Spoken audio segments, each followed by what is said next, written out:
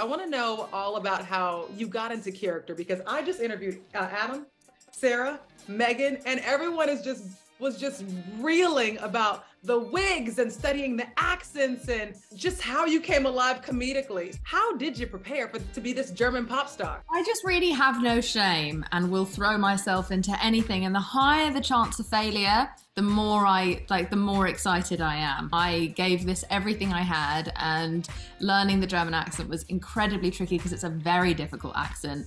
I just got to throw myself into this completely different woman, and she's so extra, and the wigs and the makeup and the outfits and everything about her. She's just, uh, she's a hot clown. You know what I mean? And I think. We need more of those in the world right now. And she's so deluded. And I think I have this obsession with these delusional narcissistic nightmares. I think that they just like they're the most fun to play, and I couldn't have more inspiration to draw from when living in Hollywood.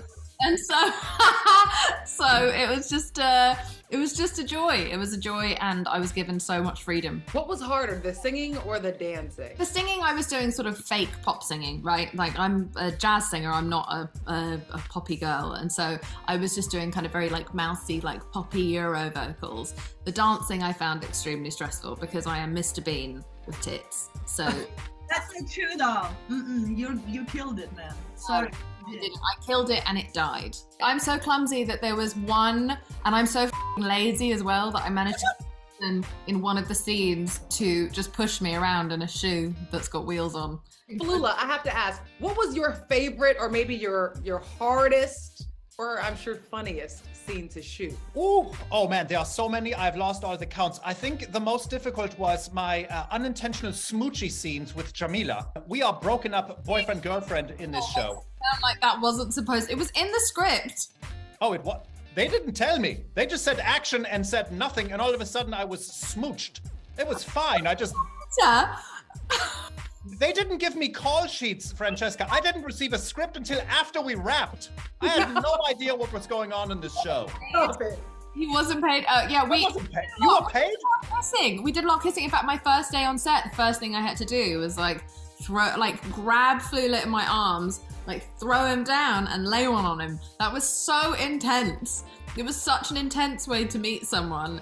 Yes. Lera, did you did you have a favorite scene or a fun scene that you shot? I don't even know where to start because also a lot of fun was happening behind the scenes and, and, and everything of it was fun. But I don't want to say too much, but there was this moment where uh, Bumper uh, is recording a song and um, Adam Devine was um, standing in this, you know, box where you like record music and he just improv in a way which I was sitting there and I was like, I, I, I can't I can't believe that's real. Like I couldn't stop laughing. Like the whole thing is just an act. Like I don't even know where to start or which scene to pick. You know, they always tell you for the interviews, like, you know, pick three scenes. I'm like, which one? I love that. Uh, Jameela, I, I since I've asked Flula and Lera, I have to jump in there with you since you're smooching anyone with lips these days.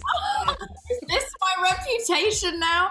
Um, I was quite excited because I've only kissed six people in real life, right? IRL. My number is low, so I'm trying to pull the number up. So I've been counting my on-screen kisses. So now technically with Manny Jacinto in The Good Place and Flu and Tim Meadows, I'm at a nine. What was your favorite scene to do? Oh, my favorite scene to do was probably Pretzel Fest. Uh, we see kind of flashes of it. I'm in like Lederhosen and I'm um, I'm just slapping my my absolute lack of ass, surrounded by the most amazing dancers, uh, like the funniest, silliest backing dancers. That for me was one of my favorite things. But also, Sarah Hyland is my favorite, like just like one of my favorite scene partners to riff with. Like we had a we'd never met before and both loved each other's work but from the second we stepped on set together there was this kind of just like magic between us there's a toilet scene with sarah that i think will go down in my memory as like one of my favorite acting experiences alongside kissing flula consensually What's your go-to karaoke song since I'm asking you all about Pitch Perfect? So I gotta ask. The Knight Rider theme song.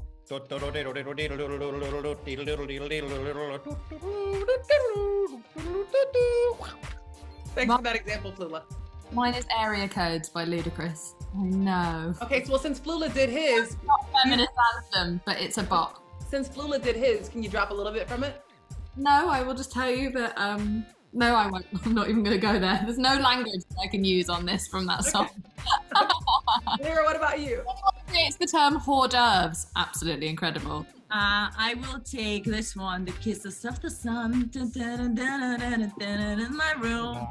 And then it goes na na na na na, around the world, and na na na na na.